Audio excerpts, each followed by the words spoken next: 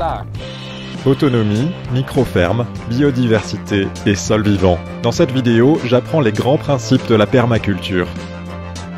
Je rends visite à une micro-ferme exemplaire, les jardins enchantants. Désolé, mais c'est la fin des framboises, donc vous ne pourrez pas en piquer sur le passage.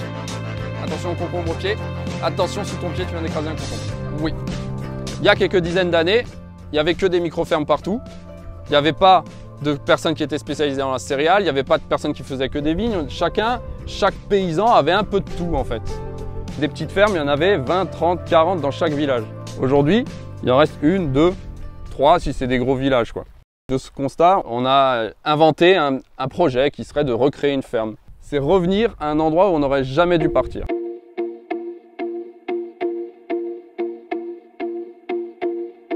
Principe numéro 1, produire beaucoup sur une petite surface. Un hectare maximum. C'est la définition de la micro-ferme. Pour Léa et Gabriel, la ferme est à la fois un projet de vie et un projet artistique. Les jardins enchantants, c'est euh, le mix entre culture et agriculture. On appelle le maraîchage polyculturel. C'est un engagement, c'est un, un projet pour montrer qu'on peut changer les choses et faire bouger un petit village. Et puis c'est un engagement financier aussi parce que vous avez investi énormément d'argent pour ces bâtiments, ces équipements, ces outils. Euh, oui, oui, c'est, euh, c'est énorme parce qu'on part de zéro, on part d'un terrain vide et euh, bah, d'abord on commence par acheter des serres, un peu d'irrigation, puis finalement ben, une nouvelle pompe et du coup, hop, hop, hop, d'un coup, bah, il faut un bâtiment pour protéger le matériel et voilà. Donc ça fait 5 ans que vous vous êtes lancé dans l'aventure. Ouais. Comment est-ce que c'est possible de gérer une ferme comme ça à deux? Un hectare, euh, voilà, c'est possible peut-être si on est à temps plein et qu'on est vraiment des maraîchers. Euh, nous, on est aussi artistes, on continue nos métiers artistiques en parallèle, surtout, on continuera toujours. Donc euh, voilà, c'est, on va dire qu'il y a du monde autour de l'entité Jardin Enchantant. Il y a le papa de Gabriel qui nous aide pour les semis. Puis après, il y a toutes les petites mains qui passent comme les woofers et les stagiaires.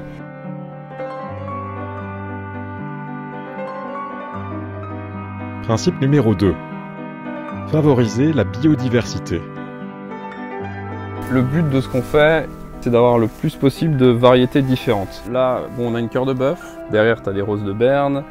Ici, c'est une variété magnifique. Elle s'appelle Orange Agrofruit et c'est extraordinaire. C'est un goût de mangue en fait. Ah ouais Et quand on a commencé à proposer ces tomates-là, tout le monde regardait en disant Quoi, c'est pas rouge et tout. Alors qu'il y a plus de 800 variétés de tomates. hein. Donc en fait, on, est resté dans un truc où on se dit il faut absolument que la tomate soit rouge et ronde. Et où est-ce que tu as appris toutes ces choses-là? Parce que toi, tu viens pas d'une famille d'agriculteurs et tu n'es pas du tout agriculteur à la base. Je pense que on est tous paysans au fond de nous-mêmes, vraiment. Et donc si tu as confiance en toi, si tu essaies de chercher, si tu t'acceptes aussi de te planter, parce qu'on s'est planté plein plein de fois, avoir l'humilité d'écouter aussi les conseils des autres. Et en même temps, j'imagine que vous avez pas mal de critiques par rapport à cette image qu'on a des néo-ruraux aussi. Comment vous viviez ça? Au début, on a eu beaucoup de critiques. On en a encore, peut-être qu'on y fait moins attention, je sais pas. Mais au début, c'était très très dur. Euh, Quand on est artiste, souvent c'est parce qu'on a une sensibilité un peu à fleur de peau et, et forcément ça touche. Ça touche parce que c'est une création de zéro et donc c'est vrai qu'au début, du coup, quand on se donne corps et âme et qu'il y a des, des critiques qui sont infondées, c'est difficile. Mhm. Après, au fur et à mesure, bah, il y a moins en moins de critiques parce qu'on voit que c'est- c'est cohérent ce qu'on fait. Pour nous, c'est devenu notre quotidien, tout ça. Euh, de récolter ses graines, de faire son pain, de faire son vin, etc. Mais à chaque fois, quand on va dans la société civile, on va dire, on se rend compte que ce n'est pas le cas pour tout le monde. Mhm. Donc l'idée, effectivement, c'est de passer ce message.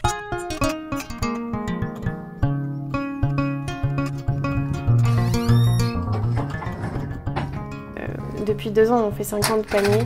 Physiquement, en termes de temps de travail que ça demande, la préparation tout ça, c'est très bien. Donc c'est que des légumes qu'on a fait pousser nous-mêmes et qui sont partis de nos graines ou nos replants. 30 semaines, de mai à novembre, parce qu'en hiver, on part sur nos projets artistiques. Les personnes s'engagent à payer le plus vite possible la totalité. Ils nous payent du coup un peu avant mai, ce qui nous permet, nous, de rembourser plus rapidement euh, les factures sur la semence, sur le terreau. On doit sortir beaucoup d'argent euh, au printemps alors qu'on n'a pas de trésorerie.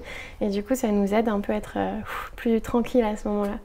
Donc voilà, mais c'est aussi une pression pour nous, hein, parce que du coup, ils ont payé les 30 semaines de panier. Donc faut, voilà, faut gérer la sortie du légume jusqu'à fin novembre. Quoi. Il y a assez cette semaine? Ouais, ouais, là, on est en abondance en fait.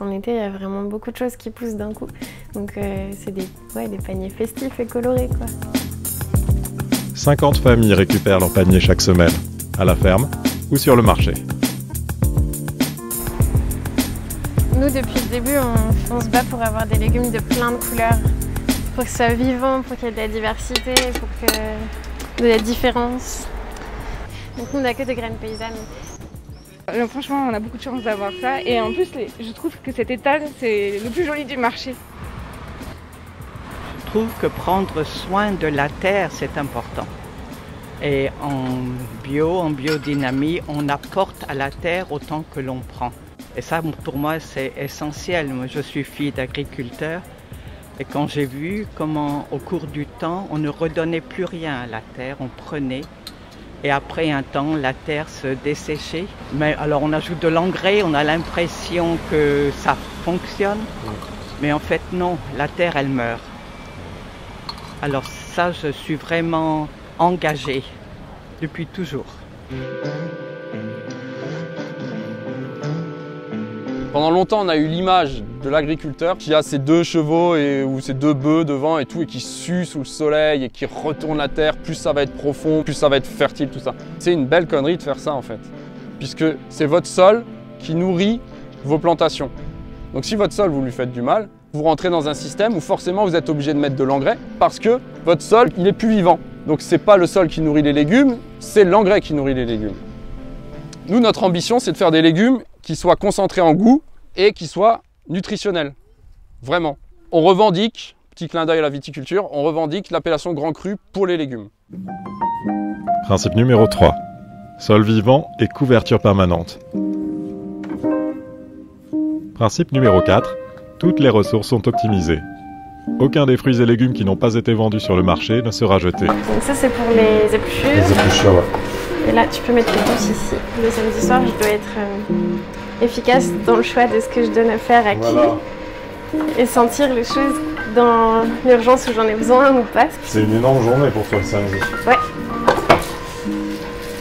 Ce soir on sert à peu près 70 assiettes.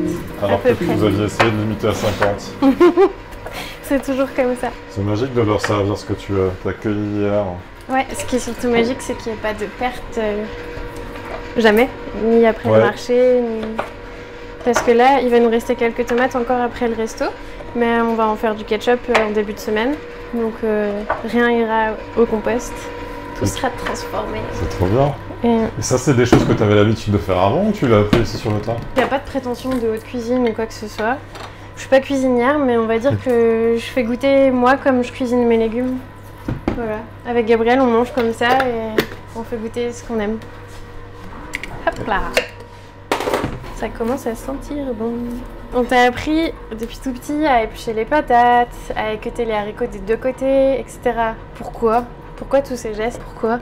La peau de la patate, elle se mange quand elle est naturelle, ta patate. Là, je leur fais équeuter des haricots après et je leur dis de garder le côté pointu et je leur fais enlever que la queue en fait, qui est trop dure à manger, ok, mais l'autre côté pointu, il a le même goût que le reste du haricot. Dans la peau, il y a tous les, les nutriments, les vitamines, il y a tout ce qu'il te faut. Et dans les fans aussi, dans les fleurs des légumes, dans plein plein de choses. Du coup, c'est ce qu'on essaye de transmettre. Dans 20 minutes, il y a les premières personnes.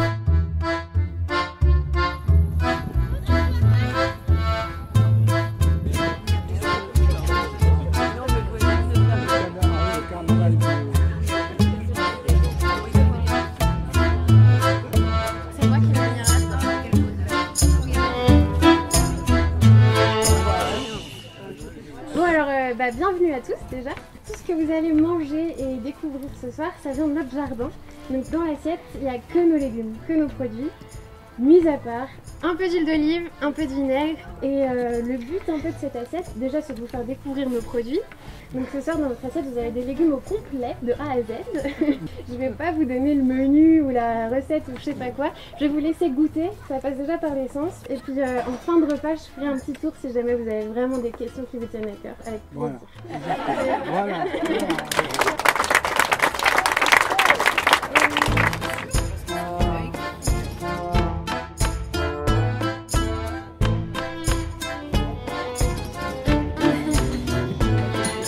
Vous arrivez à être à l'équilibre aujourd'hui. Oui, on est à l'équilibre, mais on, danse quoi. Moi, j'aime bien. Je viens du milieu du cirque et voilà, un équilibriste, il est en équilibre que parce qu'il est tout le temps en déséquilibre. En fait, c'est tout le temps en mouvement et il trouve son équilibre là-dedans. Nous, on trouve notre équilibre euh, d'année en année aussi parce que les premières années, euh, on savait pas trop où on allait, on suivait le flot des saisons. La vie de paysan, c'est de s'adapter au rythme des saisons, des intempéries, de, tous les aléas en fait, qui font que tout ce que tu as prévu, ça se passe jamais comme tu as prévu. Euh, c'est vivant quoi. On est juste des humains qui se posent des questions et du coup on les partage avec les autres.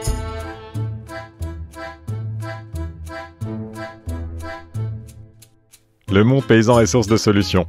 Écrivez-moi en commentaire ce que vous avez pensé du projet de Léa et Gabriel, laissez un pouce en l'air s'il vous a plu, et abonnez-vous à la chaîne pour ne manquer aucune de mes vidéos sur les solutions en agriculture. Restez curieux.